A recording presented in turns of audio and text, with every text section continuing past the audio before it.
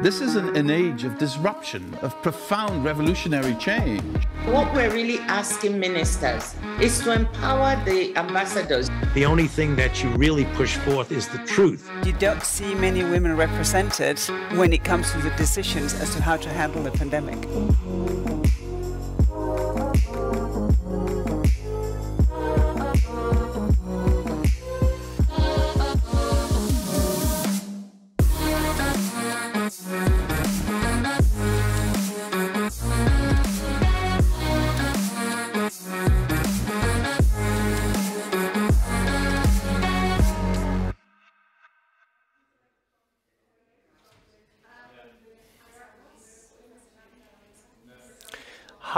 And welcome. I'm Lauren Cerulus. I'm cybersecurity editor at Politico Europe, uh, based here in Brussels, uh, where we are coming to you uh, from. We've got a little audience, well, a little, a nice audience um, over here uh, down at our venue where we're organizing our um, AI and Tech Summit. Um, and uh, most of them just had lunch, so they seem to be uh, in good spirits. Um, I hope everyone online also had a little lunch and, and is also in good spirits. Um, I'm going to moderate a session um, on the Digital Compass, which is uh, the EU's grand plan for uh, the digital sector and digital economy.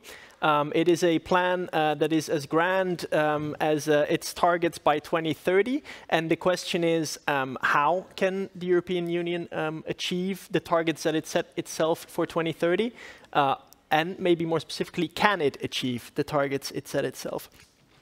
To talk through that, I'm uh, joined by uh, three uh, panelists online and one here in the room, um, which I'll introduce to you uh, now. Uh, so our first panelist uh, joining us for this discussion is Stefan Schnorr, State Secretary to the Federal Minister for Digital and Transport in Germany. Hi, Stefan. Thank you for joining us. Hello. Se secondly, we've got in the room Josianne Cutajar, who's uh, Maltese MEP for the Socialists and Democrats here uh, in, at the European Parliament in Brussels. Hi, Josianne. Hi, and uh, best regards to those following us physically and online. exactly. And then um, online, we've got uh, Fanny Hidvegi joining us, uh, who's European Policy Manager at Access Now. Hi, Fanny. Thank you for joining. And uh, last but not least, we've got Liz Grennan, uh, who's Associate par uh, Partner and uh, Global Co-Leader of Digital Trust at QuantumBlack, a company uh, that is part of the McKinsey family. Hi, Liz. Thank you for joining us um, online. Thank you for having me. Before I start the discussion, um, I would like to tell everyone in the room, but also online, uh, that um, this is uh, meant to be a, a, fun discussion and an interactive one. So we invite everyone to ask questions. Um, if you can ask questions using the uh, Swapcard app, um, which uh, this event is running on. Um, and so if you go to the session that uh, that we're having right now, you will see um, uh, a space to to ask your questions. I will get them here in the room, and um, I'm happy to throw them at our panelists. without further ado, so the last point I'll mention is this session will uh, last until 240, 245 roughly, um, which um, is um, uh, just enough time for us to have a vibrant discussion, so we'll get to that now. The discussion uh, that we're having is on the digital decade or digital compass, so the targets that the EU has set itself, um, and some of those are incredibly, um, incredibly uh, ambitious. Let me just pull out one that I've covered uh, in my reporting a little, uh, which is that the European Union wants to uh, achieve 20% of uh, market value in the chip sector by 2030. It currently has 10. Uh, many of the industry experts I've spoken to about this target say this is a very tough one to make, if not um, nearly impossible. Um, I won't go into all of the targets, but this is just to give you a sense of these are political ambitions, and we're now going to drill down a little in, in how realistic they really are, and what the Commission's plan uh, is, um, uh, or Europe's plan is to get there. Um, I'm going to start by asking uh, Stefan um, to give us a sense, maybe first of all, um, I want to ask you, how do you feel about the realism or how realistic these targets are uh, that the Commission set itself uh, and set countries, including Germany, uh, back in March 2021? Stefan. Yeah, thank you very much, Laurens. I think the targets are indeed very ambitious, but on the other hand, we need ambitious targets. Uh, we need tough aims, as you as you said uh, before because uh, our common aim is uh, to make uh, Europe to a very important player in the digital field. and therefore we need a digital single market, not only the EU single market, also a digital single market, and therefore we need tough aims uh, so we all can work uh, to reach these aims in the in the next years. And can you give me a bit of a sense of where Germany stands and how Germany wants to reach its own? It's, it's the, the, the national uh, version of, of, those, of those targets and aims. Yes, indeed. Uh, we are just working in my ministry at, uh, for, for uh, a so-called uh, federal government digital strategy. And we discuss here with all the other ministries in our government what are our aims for 2025. This is the end of the current uh, government, and therefore we are defining the aims that we want to reach within the next five years, in the next four years. And we are waiting for the uh, contributions from the different ministries we want to address in this uh, German federal uh, uh government uh, digital strategy all the issues, uh, beginning from e-government, beginning from economy, digital economy, uh, the health sector, the skills sector, so all the areas where we need a push in digitization in the next years. So I cannot answer you the concrete aims that we had at the end of this period of the government, but we are working on this. And uh, I can uh, give you a short example that indeed we want to have very ambitious uh, goals also for Germany. One goal, for example, is that we want to have uh, fiber to the home for all citizens in the next years. This is also very ambitious, and we are working on a gigabit strategy also in Germany. So ambitious aims are necessary, but at the end, we only can work uh, together within the European Union. Therefore, we need uh, this uh, single market and we need uh, the cooperation within the EU with all the member states. Great, thank you. Um, Josianne, if I can bring you in, uh, so um, the, the, the, the plan, the digital decade in its totality, goes into all different elements. Uh, there's there's uh, issues on skills, there's targets on, on infrastructure, etc. Uh, we've heard um, Stefan mention uh, digital infrastructure and sort of, so parts of this is new, parts of this is going into 5G, parts of this is going in chips, etc. Uh, other parts are sort of longer standing uh, issues that Europe has, has grappled with in, in, the past years. Uh, some of those include digital skills, which has been an issue for long. Uh, another includes uh, the target to turn more startups into unicorns, into large companies, uh, which is also something that Europe um, has, has, struggled with uh, in the past. So how do you feel about the balance between the sort of the long-standing issues that Europe is having um, on the digital sector and in the digital economy versus sort of the, the ambitions on the new technology? Technologies? I'd like to start from what you mentioned regarding skills and connectivity and make an important observation. I really believe that before the pandemic struck, we were more focused on the skills, which, believe me, I really believe in and are very much important. And there is a lot also on the digital decade on skills and how we need to improve on that, both within the workplace, for our SMEs, for the employer, employees, but also for our citizens. But once the pandemic struck, we came to realize that we need also the connectivity.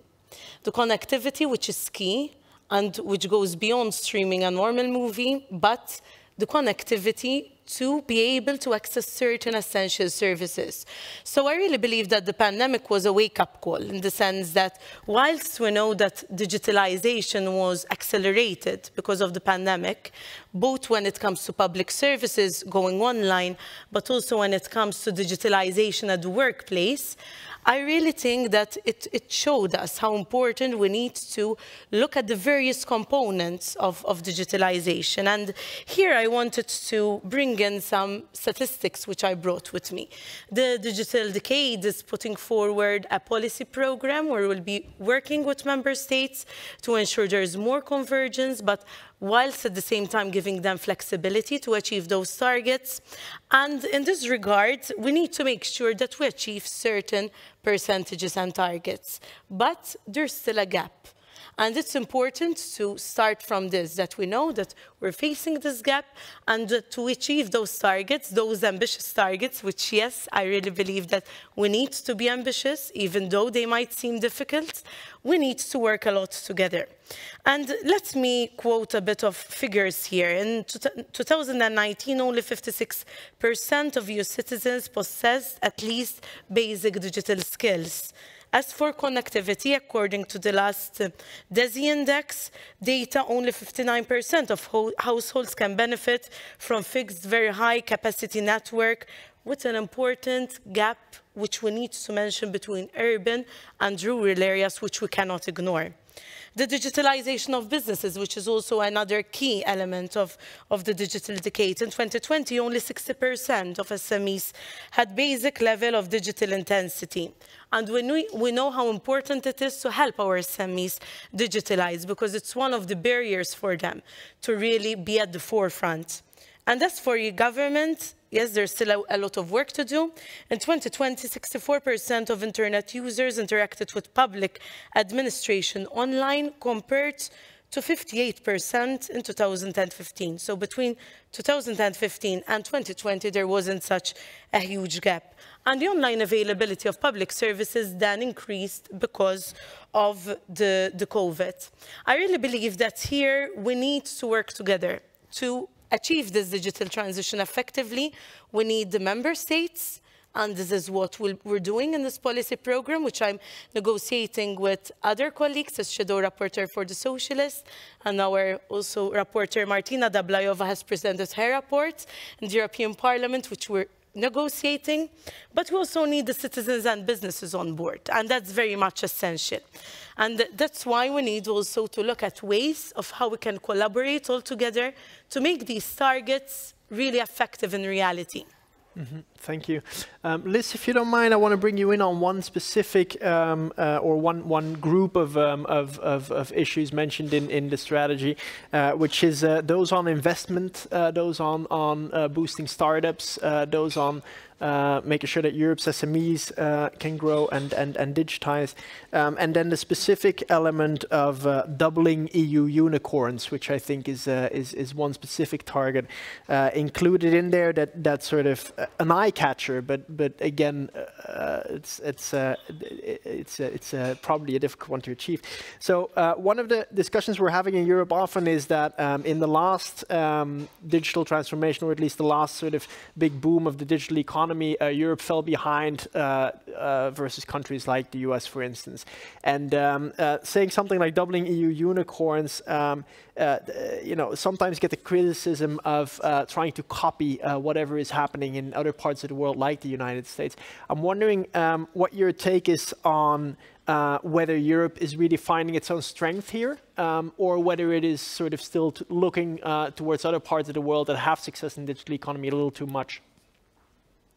Yeah, these are great questions. Um, and, and I bring my own comments um, from the vantage point of serving serving companies like that. We serve tech unicorns around the world. We serve um, we serve traditional companies that are creating new digital businesses that they and themselves would be ideally becoming their own tech unicorns. But um, you know, the ambitions are are aggressive, wonderfully so.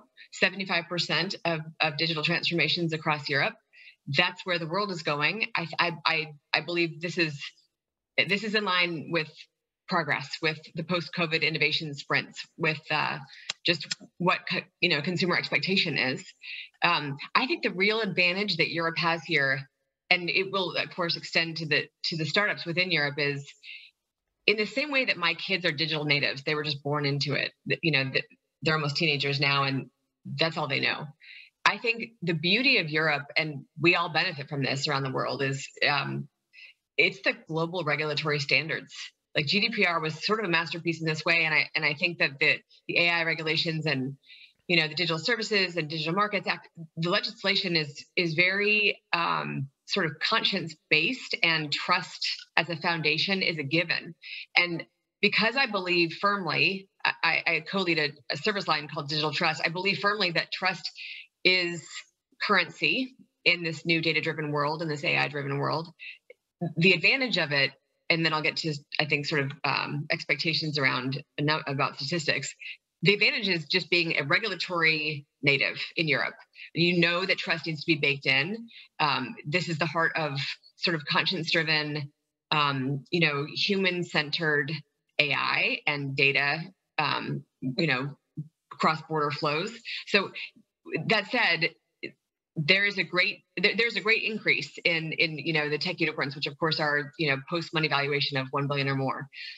This is we have um i we've you know we've seen statistics that there's been a rapid increase. It has not caught up with the us yet but um but what i think is the advantage and and ironically it's almost begging for reg tech startups within europe given that, that that's sort of the the home of it. But um where a company and we are finding this across all jurisdictions where a company has built trust in to its approach to uh, digitization that is correlated and we believe probably largely caused by its approach to to trust. And by that i mean there is a coherent address of you know responsible ai human-centered ai um, data privacy baked in you know privacy by design and increasingly ethics by design.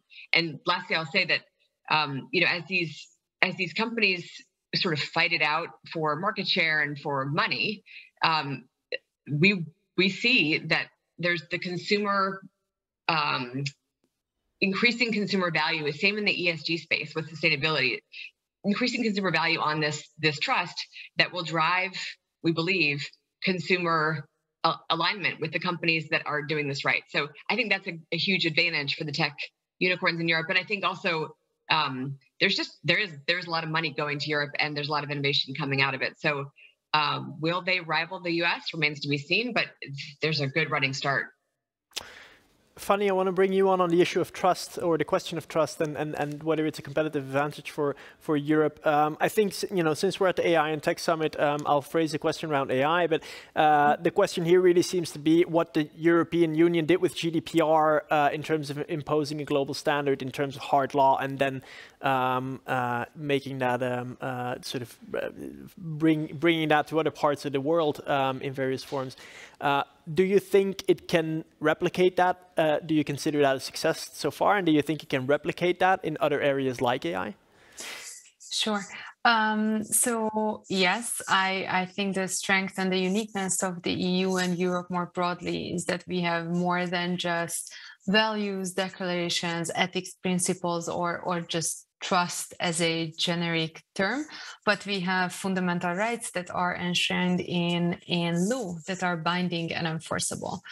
And we definitely need more than just trust and soft power and di- diplomacy. And I think to have human rights in the digital age in law is of paramount importance based off the Charter of the Fundamental Rights. And I, yes, my answer is yes to the GDPR. It is a success, um, although we know that it, it requires some improvements in enforcement. And um, I have a small list of um, reforms that are more concrete than some of the very ambitious uh, targets in this discussion. And I think that's where the EU should start uh, to, to achieve those principles like people being at the center and having control or having trustworthy AI for that matter. First of all, we at Access Now advocate for the EU to ensure the confidentiality of electronic communications, to ban practices that adversely impact people's rights to privacy and freedom of expression. And this should include behavioral targeted tracking as well. Um, in terms of interoperability, uh, it must be implemented in a way that it uh, maintains uh, the level of privacy and security via end-to-end encryption. And for AI, we want the um, European Union to protect people's rights, both EU citizens and third country nationals, including banning the most harmful applications, such as biometric mass surveillance, emotion recognition, and predictive policing. Some of these were discussed more in more detail this morning.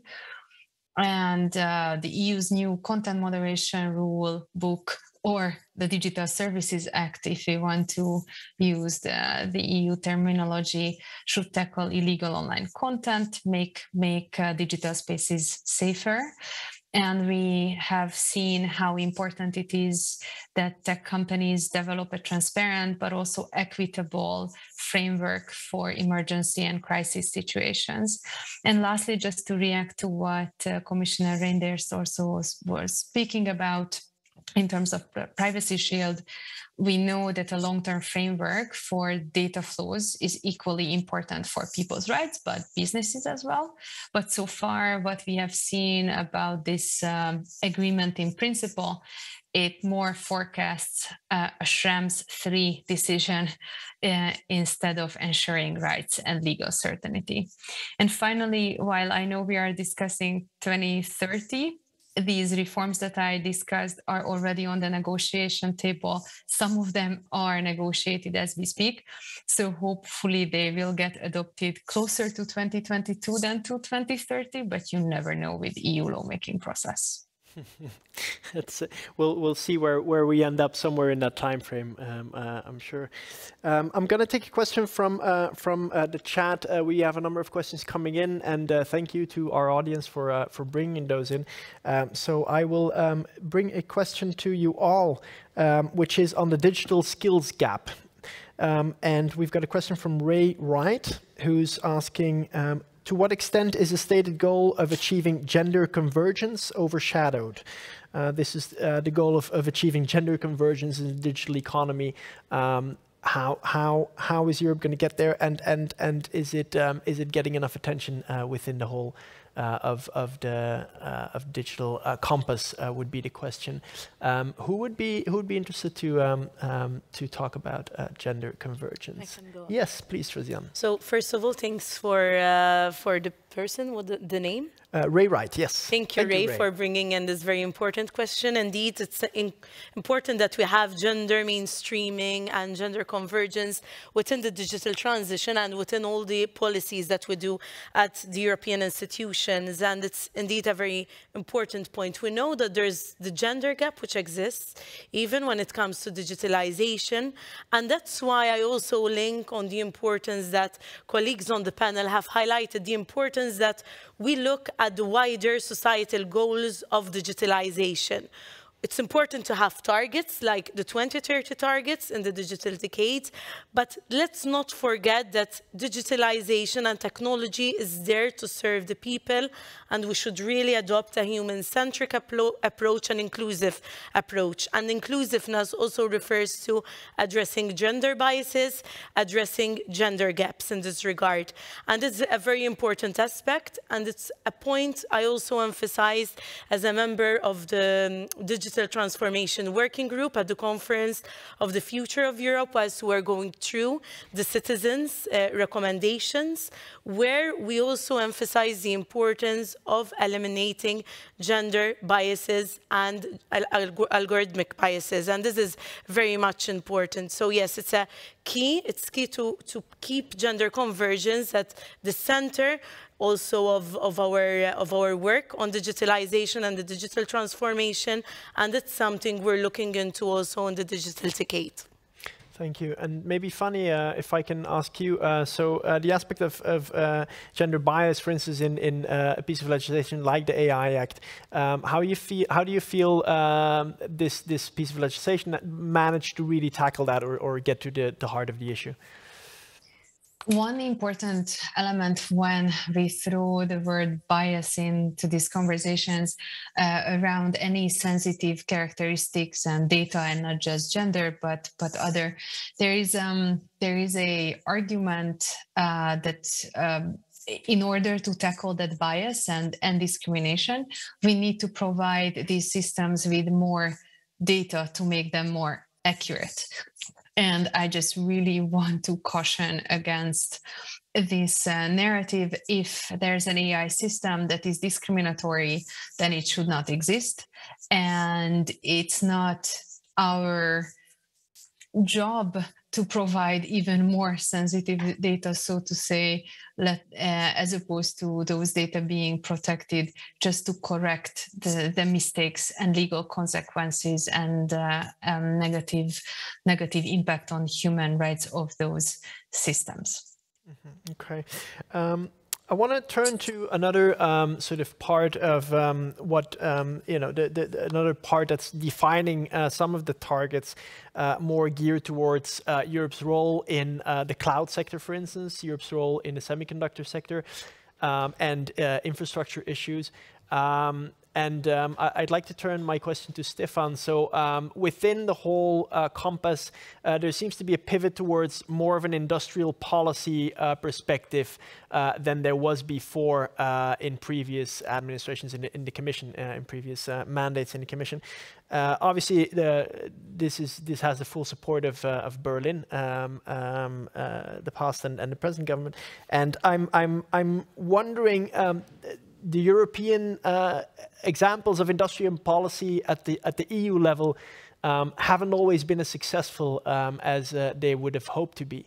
Uh, so my question is, is, what is different this time uh, when Europe is proposing a number of industrial policies on batteries, on cloud, on on um, on semiconductors and and more? Uh, what is different this time uh, that will ensure that they actually work?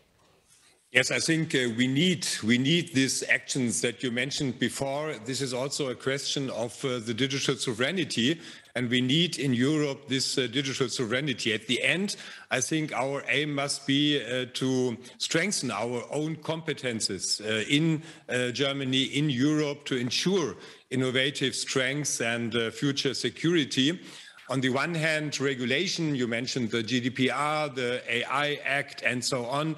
These regulation can uh, uh, intensify this uh, innovation.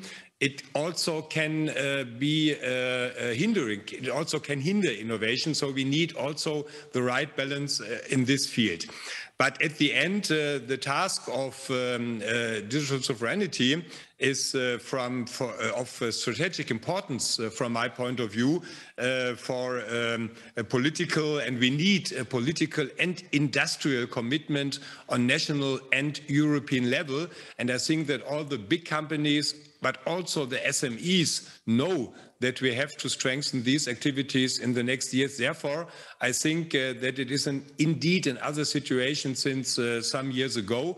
We have another geopolitical situation at the moment, so we need this um, uh, engagement. And I think that the digital compass strategy, including the political program, uh, are important contributions to this uh, to accelerate the EU's uh, digital transformation and to strengthen digital sovereignty. At the end, we need the infrastructure, we need infrastructure on cloud, because data is uh, the future of our economy. Therefore, we need uh, secure cloud infrastructures uh, and we need um, the skills that we have mentioned. We need all these areas and we have to bring uh, um, um, um uh, yeah, uh, progress in all these areas in the future to strengthen Europe's uh, digital sector. We've we've heard that that message from from uh, Germany for a couple of years now. I think cloud is, is a sector in particular that's been that's been identified as as, as a problem uh, early on, um, earlier than uh, the semiconductor uh, sector and and and others. Uh, but but still, it's hard to see uh, the market changing. Um, so how do you feel? How do you feel about the progress so far in a sector like cloud? Yeah, I think I think we have we have made progress in the past, uh, but it's a long process. We cannot uh, uh, build up our own infrastructure, our own sovereign Europe uh, infrastructure within one year. Uh, the infrastructures that we have from the big companies are the result of a work of uh, 10 years and so we need a little bit time. But the progress that, for example, Gaia X made in the in the past, I think this is a very good progress. And they worked on standards, uh, they worked on uh, cooperation between different countries. And I hope, and I'm sure that we will be successful within this year that we have first services and first offers by Gaia X uh, in, the, in this year. One example from my ministry is uh, the so-called uh, mobility data space. This also based on the Gaia X infrastructure. This is very important in the uh, mobility sector for the future that we can um, uh, um, uh, work here with the data from the mobility sector in a secure and in a reliable way. This is one good example based on uh, the Gaia X infrastructure. And at the end, the same is uh, true, for example, in the semiconductor area. We are building the first manufacturing, uh, the man first uh, factories here in Europe Uh, to build our own chips in Europe. And this is important to reduce the dependencies that we had in the, in the past, because we need uh, semiconductor, we need chips for all of our products in the future, because all products are connected to the internet and therefore we need it. The same is true for battery technology, for electromobility. We need uh, battery technology also in Europe and not only uh, from, uh, from other parts of the world. Therefore, I think uh, the uh, pressure to do more is uh, more intensive like in the past and the current situation with the terrible war in uh, Ukraine uh, shows that we need more uh, sovereignty, not autarky. This is definitive, definitely not the case, but we need more sovereignty in this geopolitical situation. Liz, if I can bring you in, um, uh, maybe for a reality check or just your thoughts, uh, to what extent is um, is this necessary from from one uh, perspective, but also but also feasible uh, to to to really sort of uh, turn away from uh, foreign technology, quote unquote, in some of these the, of these markets? I mean, I think I, I, won't say what is advisable, but I would say um, this protecting industrial bases and, and everyone's worried about you know um, obviously supply chain and capabilities and um, and you know just uh, crisis planning and I and I and so I think it's it's wise to to get creative with um, I think thinking back from uh, a range of really tricky scenarios is, is useful. So I think um, what I see the successful companies doing is having a very comprehensive plan for resilience across all of the issues, um, and I and and having um, independence and you know a, an industrial base across all the different components is part of that resilience.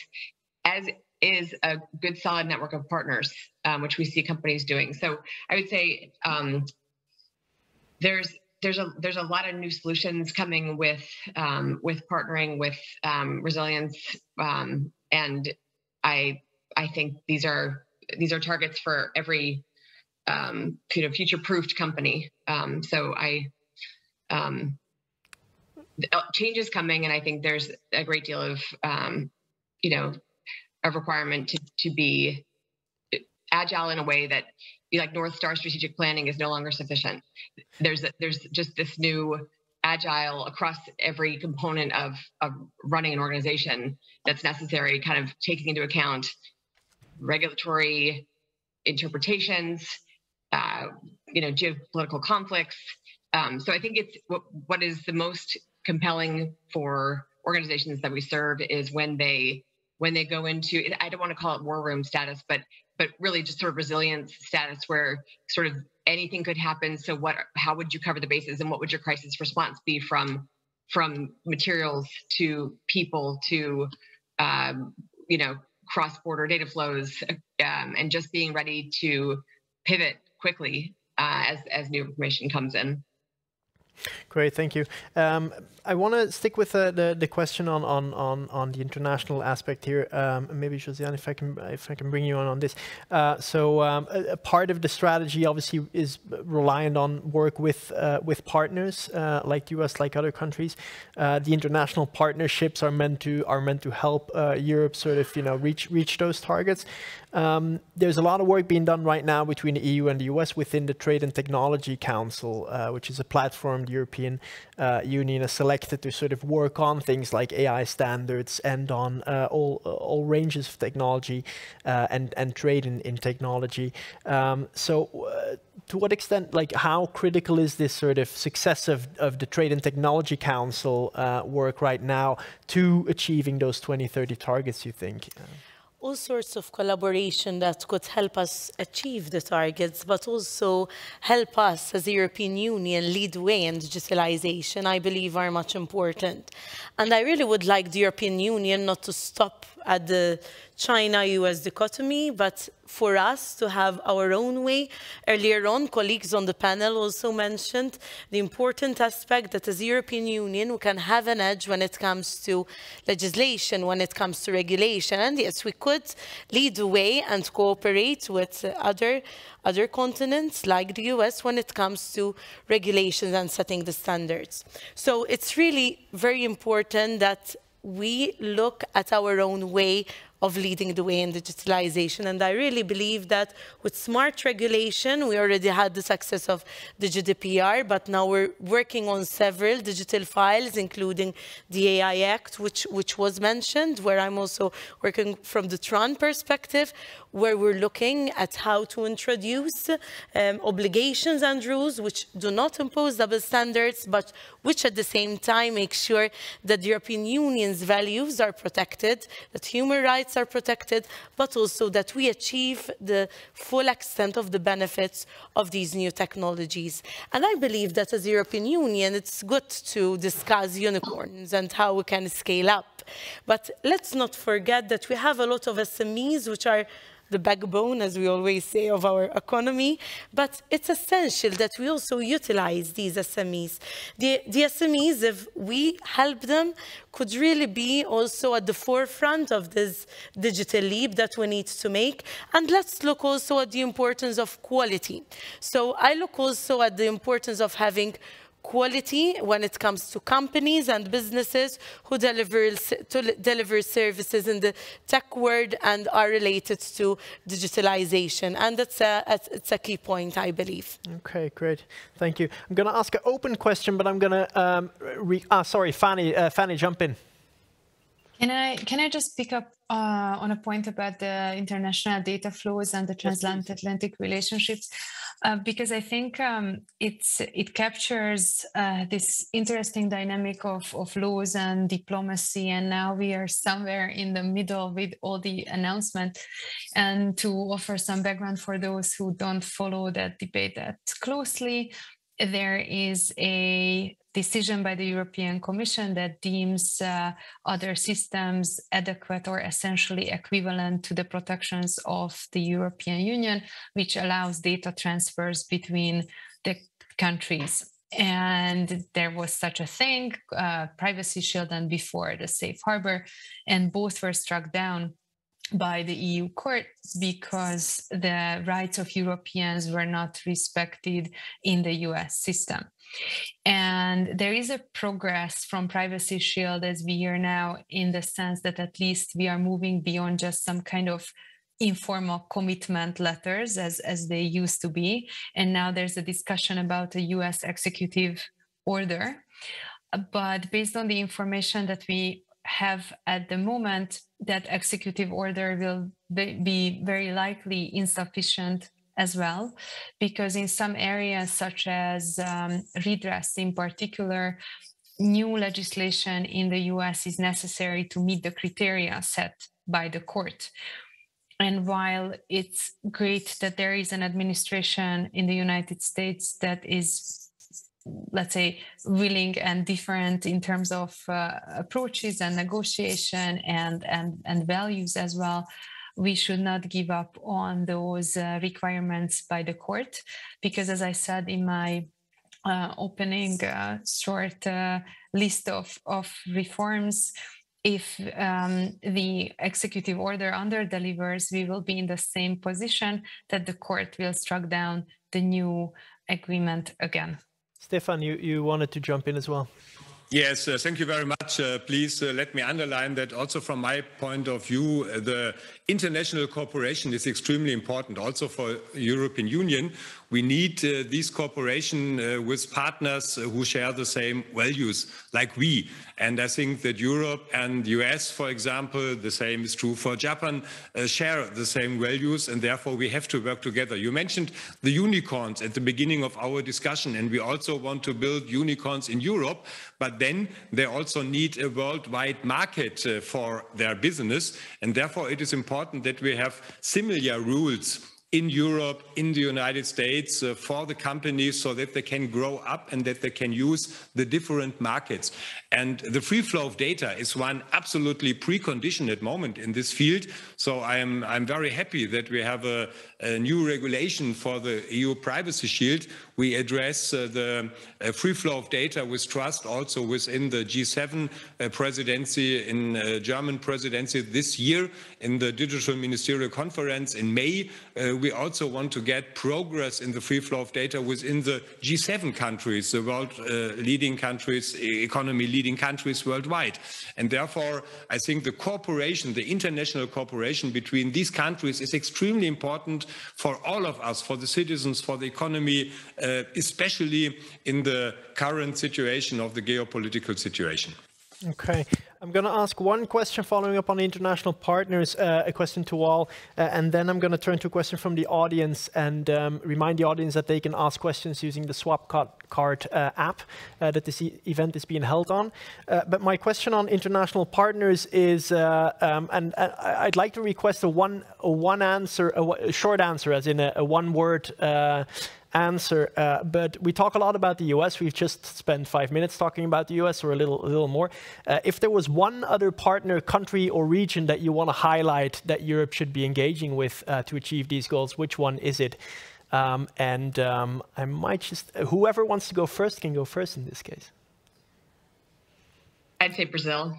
I would say, um, you know, I, what I see in in the Brazil's sort of data legislation is very similar to Europe's. I think remarkable untapped markets. Um, I think the values are similar. The legislation looks similar. There's there's a ripple effect from GDPR over to Brazil, and that um, that to me is a very exciting um, area for cooperation and um, and also just also just materials and you know opportunity. So um, there's of course all of Asia, and I'm sure someone will answer this, but I, I think Brazil is very exciting. Okay, thank you, Liz. It's very kind. Fanny, you you want to go next? I'll take another spin, and um, my response is Hungary, but in a different way.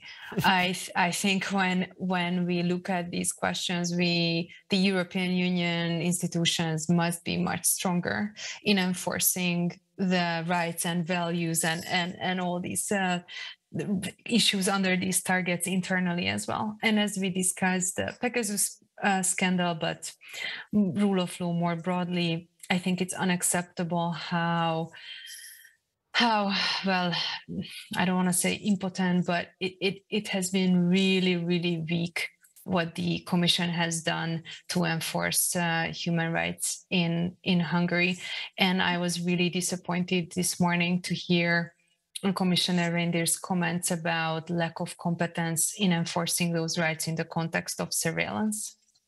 And Pegasus, yes, thank you. Josianne, if you want to go. Okay, let me declare my bias, first of all. but I'm a member of the Australian-New Zealand delegation at the European Parliament, and we had several exchanges on legislation which is being introduced to when it comes to regulating big platforms and it, when it comes to digital, digital rights and obligations. And I really believe that the Australia and New Zealand, we have quite some also similar values which we could explore more when it comes to collaboration with them, even when it comes to digitalization. Okay, great. And uh, Stefan, I heard you mention Japan uh, a little yes. while back, um, so I'll accept it as an answer. But if you want to take another spin, don't don't hesitate. No, I, I think indeed uh, Japan is a very important partner also for us. Uh, they also share the same values uh, like we, and uh, we have an agreement, for example, between the European Union and Japan about the uh, free flow of data. Uh, this is a best practice from my point of view. And we also have to look to um, the Asian area. And Japan is one, I think, good example. Um, and uh, US, Canada, no problem. Uh, these are also areas where we have to work uh, closely together with. Great, thank you. I'm going to take one more question from the audience uh, from the app, and then I'm afraid we're going to have to um, end uh, our session. Uh, but uh, the audience comes from Thomas Jorgensen, uh, who's asking, what about Europe's role as a research leader? How can we keep up R&D investment with more money being spent? Well, so how can we keep up R&D investment with more money being spent on defense, health, energy, and other areas? Um, Josianne, if you want to. Yes, research is very much indeed important, and thanks also for picking up on this very important point. point and we have a lot of funds dedicated to research which we need to utilize and when we speak of research it's essential that we see to it that we look at the various kinds of collaboration between the public sector and the private sector with third countries where also that is fruitful and even through Horizon Europe funds and other important funds, it's essential that, yes, when it comes to research and investment, we focus on it and realize that it's the way forward too. If we need to lead the way, we need to invest in uh, the important area of research. Great, fantastic. Thank you very much for that discussion. Uh, it was fun. Um, I'm uh, taking with me that Japan, Brazil, Australia, and maybe unfortunately Hungary are the countries that um, uh, might need most work uh, for the European Union and its in international uh, uh, partnerships. Um, it's been uh, it's been a fun discussion. Thank you for joining us here in the room, and thank you for joining us online. And uh, the next session, I will tell you immediately, um, is a spotlight discussion on tech and climate, um, the state of play in the twin transitions. And that one is moderated by Leonie Cater, our sustainability reporter at Politico Europe. Thank you very much.